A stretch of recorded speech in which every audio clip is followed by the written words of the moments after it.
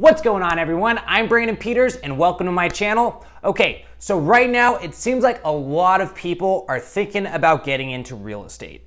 Maybe right now you're thinking about jumping into the game, you're working on getting your license currently, or you did just get your real estate license and you're wondering, what do I do now? What do I do? So guess what? Here's a great video for you guys. I'm gonna go over some of the first five steps you guys need to take to set you up for a very good, successful first year in the business. The very first thing you need to do as a brand new realtor, hop on sites like Zillow, find the top realtors in your city. Okay? Listen for a second, find out where I'm going with this. You need to know who the top realtors are in your city because as a brand new agent, you don't know what to do. You don't know how to close a transaction. You don't know how to close a buyer, close a seller, get somebody to want to work with you. Okay, you need to go meet with these top agents in your city. Find someone who can mentor you. Find someone who is who someone that you aspire to be, someone that's doing exactly what you want to be doing, making the money you want to make, driving the car you want to drive, has the the future life that you want. Go find that person and ask them to mentor you. Okay, ask them to shadow you on your first couple deals and help you close your first few transactions. That's gonna take you after a few successfully closed transactions miles and miles further than if you were to do it all on your own. Okay, so we found our mentor, right? We know what brokerage we're in. We know we got a mentor that's one of the best in the city that's gonna help us succeed. Now, what do we have to do? Well, we're a brand new realtor. We got to go find people who want to either buy or sell real estate. That's the only way we get paid. For me, the best thing that's helped me out is hopping on the phones. It's not always fun, guys. You have to find ways to make it fun and fall in love with the process because a lot of agents, they'll go, they'll fall in love with the results, but the results are a byproduct from the activity that they do on a daily basis okay? The number one thing you need to do after finding a mentor is prospecting. That could be open houses, door knocking, uh, your sphere of influence, calling everyone you know, but that's only going to get you so far. The other thing you can be doing is cold calling homeowners in a certain neighborhood that maybe you know. Maybe you like the price points, you like the homes in that area, and calling expireds or for sale by owners. That the few things that I actually do to get my listings are calling expireds, door knocking, and circle prospecting.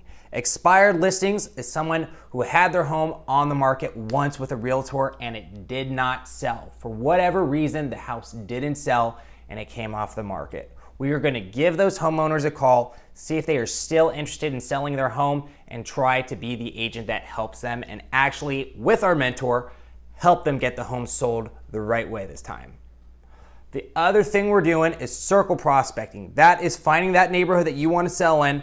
So these people, it's going to be a long time in between. You got to do this for a long time. But discipline is key in this and consistency. You're going to be circle prospecting for a long time and you're going to be moving slow, it's going to feel like. At first, moving very slow, but after months and months and months and months, it's going to work out. You're going to be starting to move much faster. It's like compound interest. It will grow over time. So right now you're circle prospecting. Maybe you're not getting anything, but you're getting people that say, you know what? I want to sell next year. I'm thinking about selling at the end of this year.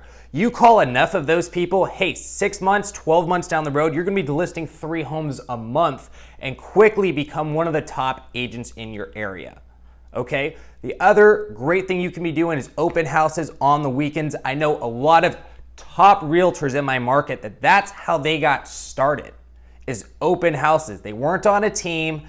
They were not paying for leads. They were just doing open houses every Saturday and Sunday. Some of them were even doing open houses during the week. I mean, it's a long, boring process working these open houses, and you come across so many different types of people. People that Maybe they just saw the signs, they were in the neighborhood, thought they'd want to take a look at what you have for sale. Uh, people that are just nosy neighbors, maybe even people that are ready to buy right now.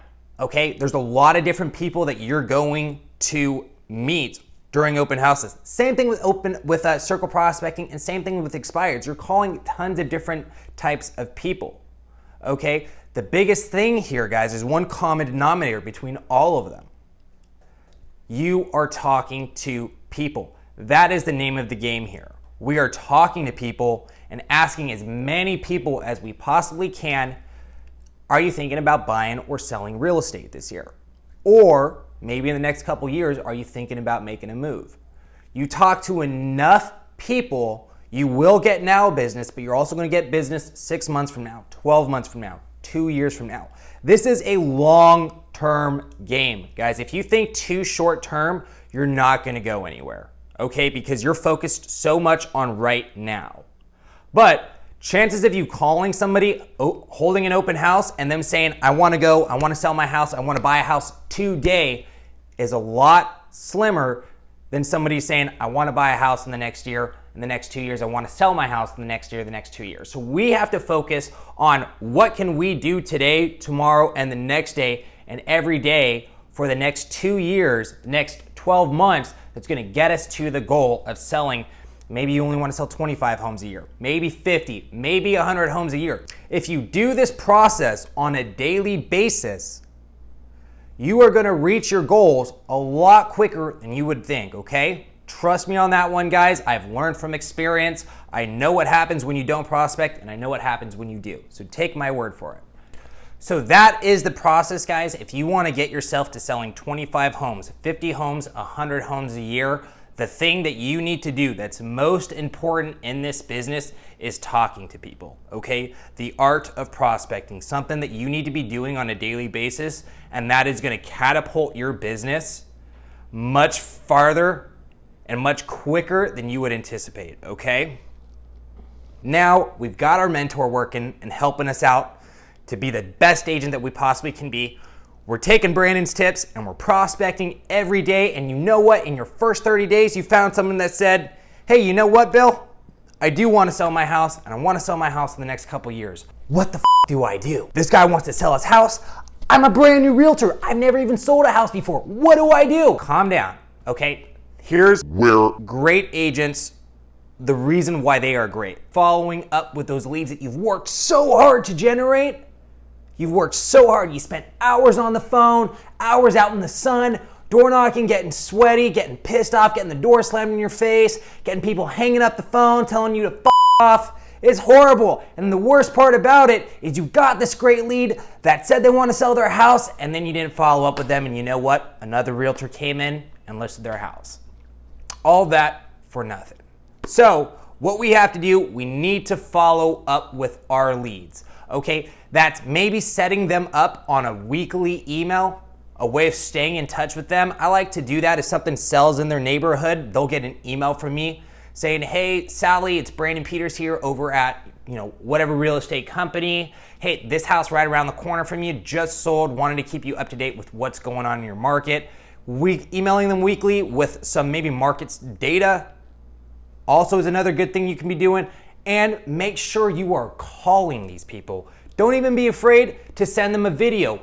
What's gonna be great about you, if you send them videos, that separates you immediately. They get to see what you look like. They get to see a little bit of your personality when every other realtor might just be sending them a text. Hey, Sally, home just sold.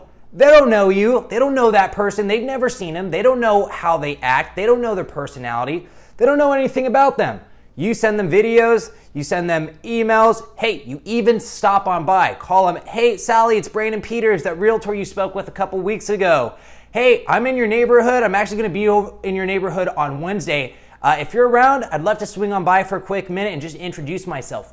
Whatever you got to do, put your face in front of theirs. Let them see what you look like and let them see that amazing personality. That is what's going to get that client to work with you. We got our awesome mentor. We are prospecting every day, and everyone's saying, I want to work with you, man. I'm getting ready to sell my house in the next year. Business is blowing up. We've been doing our follow up tasks, and we know, man, I got all this business coming up. Now, what we got to do is continue learning, okay? Learning our market so when we speak to our clients, we know what we're talking about, okay? But also, we know not just our market, but we know maybe our scripts, okay? Dealing with somebody saying, oh, hey, that's how much you charge, or that's how much you want to list my house for. Nah, I was thinking this. You knowing how to deal with those types of problems that arise in these listing scenarios or buyer scenarios, okay? These appointments that you go on. You got to study, keep watching other videos. There's tons of videos on the internet. Ricky Carruth, a great guy that I watch and listen to, one of my mentors myself. Um, I'm part of his program. A great guy to listen to for prospecting, great scripts, follow up, and also how to deal how to deal with these objections that buyers and sellers will give you. You got to know how to handle these. That's what's going to help you close buyer after buyer after seller after seller and watch that business grow. Okay, now we got a couple listings. Maybe we got a couple buyers under contract. We're starting to say, hey man, this, this train is moving. I'm getting going. I'm actually a full time agent now. This is my job for life. This train ain't stopping. I'm gonna keep going and going and going. Okay, so how, here's what we need to learn now. How can we leverage this listing into more business for ourselves? How can we take this buyer that we just closed and help leverage it into more buyers and seller leads for us? Okay, that's where once again we want to backtrack to the earlier step of following up with our past clients. We also want to ask for referrals. Maybe we want to call the entire neighborhood. I do that myself. Hey, uh, John Erickson, hey, I just helped sell your neighbor's house down the street from you. Look, we sold it in seven days and I got multiple offers and I sold it at this price, man. Is there anything I can do for you? Have you guys thought about moving in the next couple years? Do you have an agent that you work with? I'm your guy if you don't. Let's do something. Get their email, you stay in touch with them, boom. Now you're leveraging that one deal that you closed, telling all the neighbors about it. You're getting more, more buyers and seller leads. You're asking your clients for referrals because you did an excellent job because your mentor trained you the right way. They're saying, hey man, my realtor Brandon kicked ass for me. Got me the best term, best price, negotiated the best deal. He really saved my butt during this transaction. He was awesome. He has to be your guy to help you buy or sell a home. Get those referrals, guys.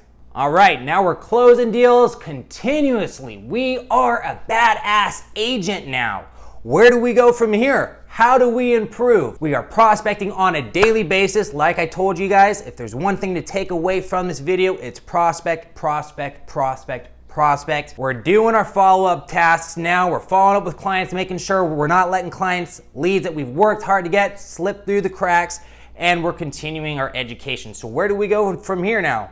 We need to figure out systems, create our own systems to help us automate as much as we can so we're not running around like a chicken with our heads cut off, doing a million things a day. We need to focus on what we can control. The things that we can do on a daily basis that helped us get to selling 10, 20, 30, 40, 50 homes a year. So in order to do that, we got to have amazing winning systems that do not that can take off some of the legwork for us, okay? And let us focus on what we need to focus on to get which is getting new clients and closing the clients that we have and making sure all our current clients and past clients are incredibly happy with the choices that they have made. So you need to create these awesome systems, guys. Do not leave any holes in your bucket. If you feel like there's a, a, a spot in your job that you're slipping up on, hey, you know what? I keep doing this without thinking, and every time it slows me down. It causes this big problem because I don't remember to do this to help avoid that. You got to create those systems, guys. A step by step process. Every transaction will be, in a lot of ways, the same. Okay, they're still the same steps. Maybe different problems arise, but at the end of the day, it's still you got to do this, then you do that, then you do that, then we get to the closing table. So create those winning strategies that are gonna help automate and alleviate some of the less important work that we do on a daily basis. All right, guys, that's it for this video. Thank you so much for checking me out, staying for the whole time, and checking out my channel. If you liked what I had to say, click the subscribe button down below and leave a comment and tell me what you guys thought. This is my first YouTube video, so you guys watching means the world to me, and I hope you guys come back soon for the next video. Thanks.